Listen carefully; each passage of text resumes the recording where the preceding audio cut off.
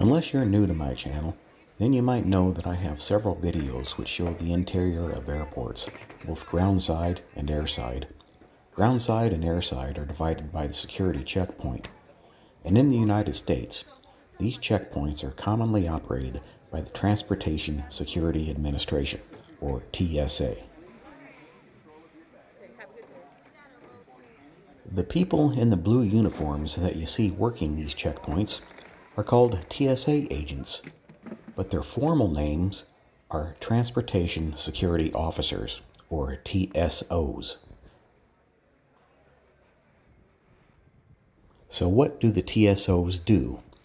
Well, their exact duties may vary, but common responsibilities might include answering traveler questions and providing them with guidance, cooperating with other law enforcement officers to complete investigations, ensuring the safety and security of all travelers and areas, evaluating screening images to look for abnormalities, identifying dangerous objects in bags or on passengers, managing crowds of travelers and redirecting them for efficiency, monitoring travelers for potential threats, operating imaging equipment and electronic detection devices, patting down travelers when necessary, performing additional testing on items to confirm hazardous materials.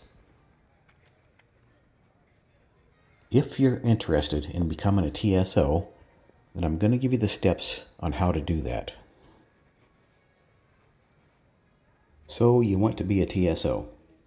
The first step is to find an open position.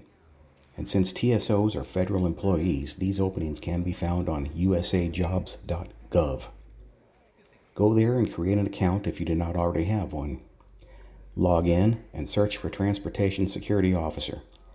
You will probably see several openings, and you will see the city where the position is based.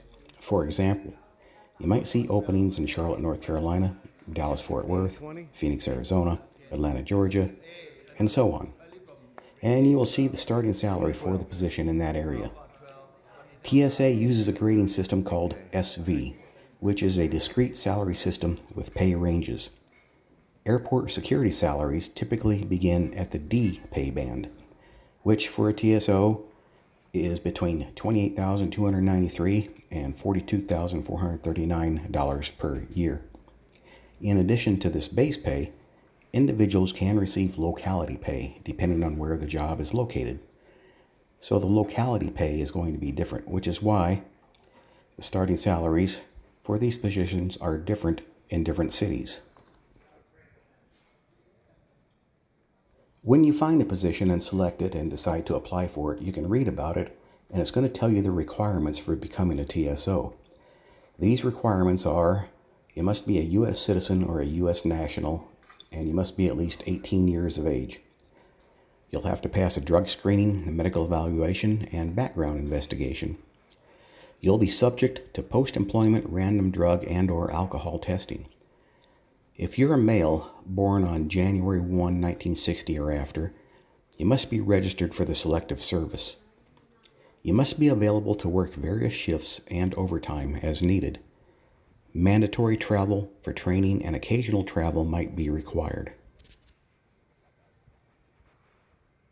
After you apply and you meet the minimum qualifications, then you might be invited to take a computer-based test, a CBT, to confirm proficiency in English and critical competencies for TSOs and to evaluate X-ray interpretation aptitude. Upon passing the CBT, you'll receive a contingent offer of employment. If you accept, you will move on to the additional assessments. Within 14 days of passing the CBT, you must submit standard authorization forms which allow for the release of information and allow TSA to run a credit check and a background check on you. The TSA is prohibited from hiring candidates with certain criminal convictions or delinquent debt.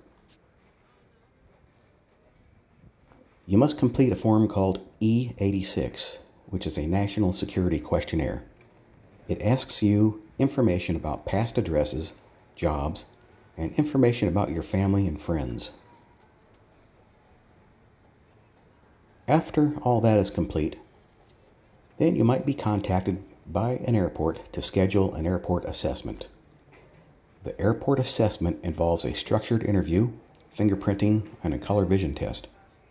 The structured interview is an assessment method designed to measure job related competencies by systematically inquiring about behavior and past experiences and or proposed behavior in hypothetical situations.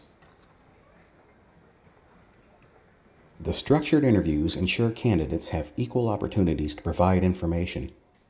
Interviewers use standardized rating scales to assess candidates accurately and consistently. Then there will be a medical evaluation, vision and hearing exam, and adequate joint mobility exam. This determines the physical potential to repeatedly lift and or carry up to 50 pounds, stand for 3 to 4 hours, and walk up to 3 miles during a shift. During the federal drug test, your urine sample cannot test positive for illegal drugs, including marijuana.